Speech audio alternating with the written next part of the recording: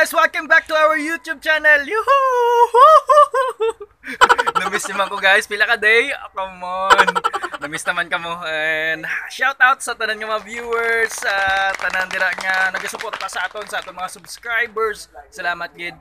And praise and glory to our God nga safe ta tanan, hindi kita positive sa sining ginatawag nga COVID-19. And to this video, ito ang napaka lupit na video na gagawin natin ngayon. Alright guys, nakita nyo ring po yon At dyan po natin tatalunin yung kalaban natin ngayon. Sakto na, ipakilala, ipaki, ipakikilala. Kila, ipakikilala ko sa iyo. Alright guys, inyo. ipakikilala na po namin ngayon sa inyo ang ating napaka A few moments later. galing, napakalupit, napakalakas, napakatigas ng kanyang katawan.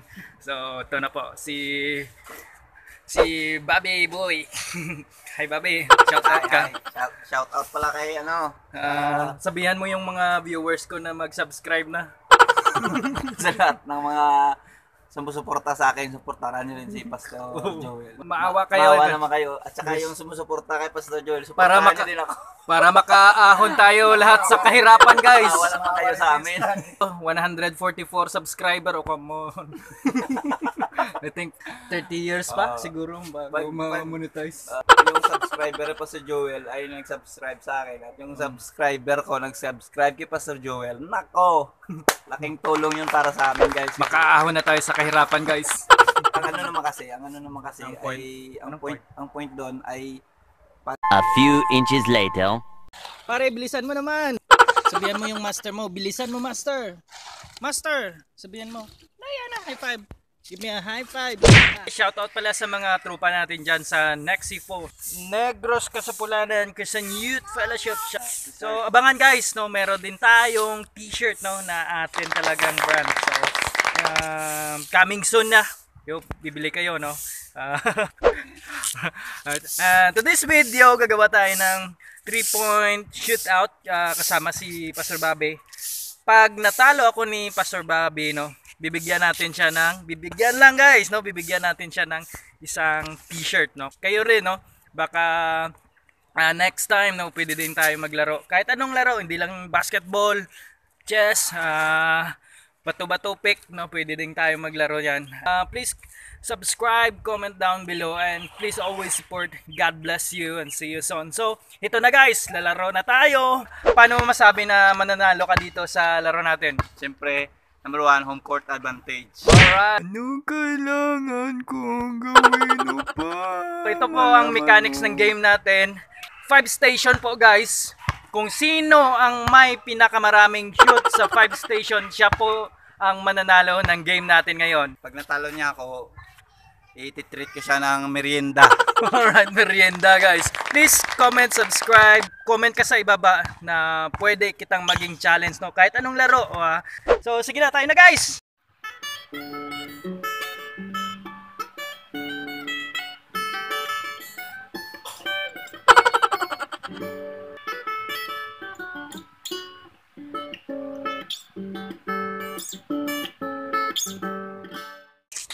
round lang. Oh, what oh.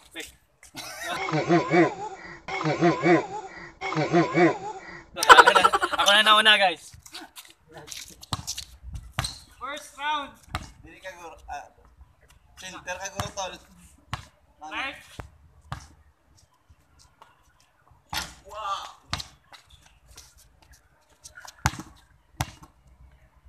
Ay, wait. Labanan naman tayo ito eh.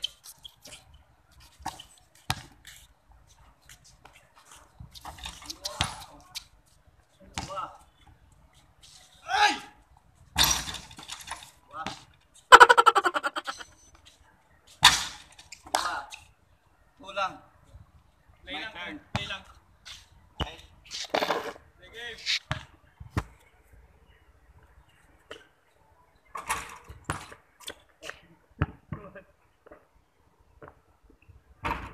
Ah!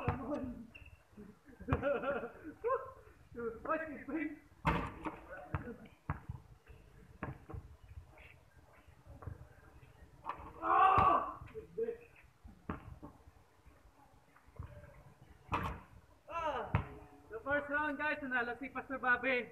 Patya lang lang.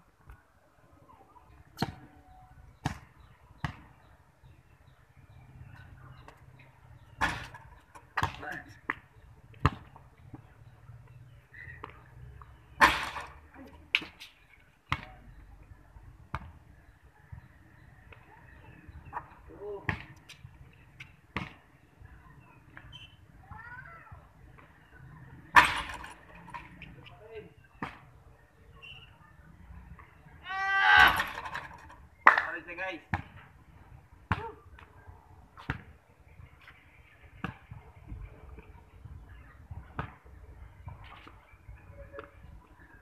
Oh, come on. Ay, come on. Basta ito guys.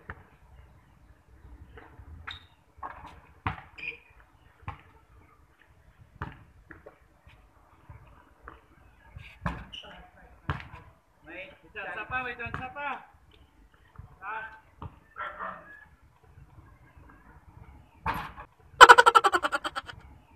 Ah, verde, verde. Ah, sa round 2, tayong score namin. So, let's go to game 3. Right, guys.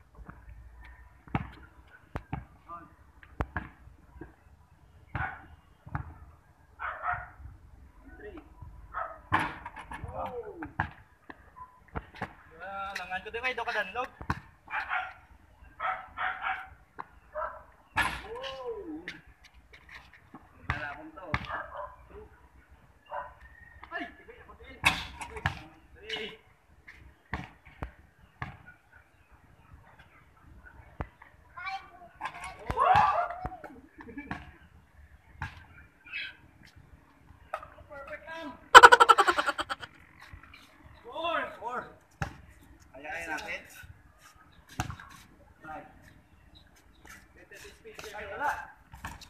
Sayang.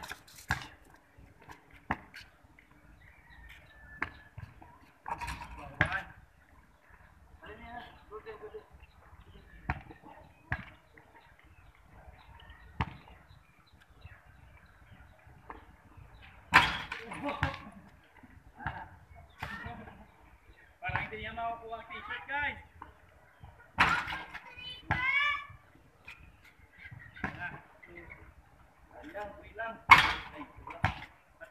Ah, ang nangyari sa game natin, game 1 na nanalo si si Bobby, second game time yung score, game 3 nanalo ako. So kaya tiebreaker tayo, ah, gawa tayo ng game 4. So come on.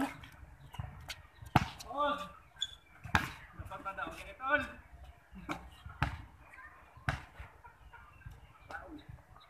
Wala. Embriado. 那个吧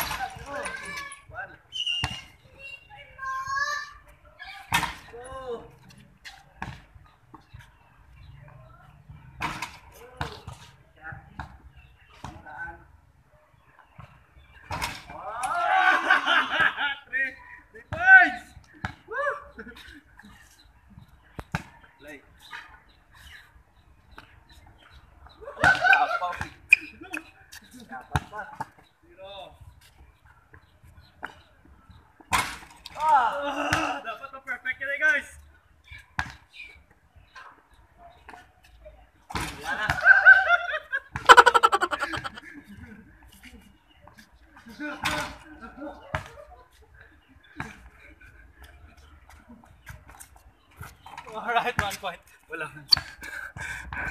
Alright guys, nanalo tayo sa game na to.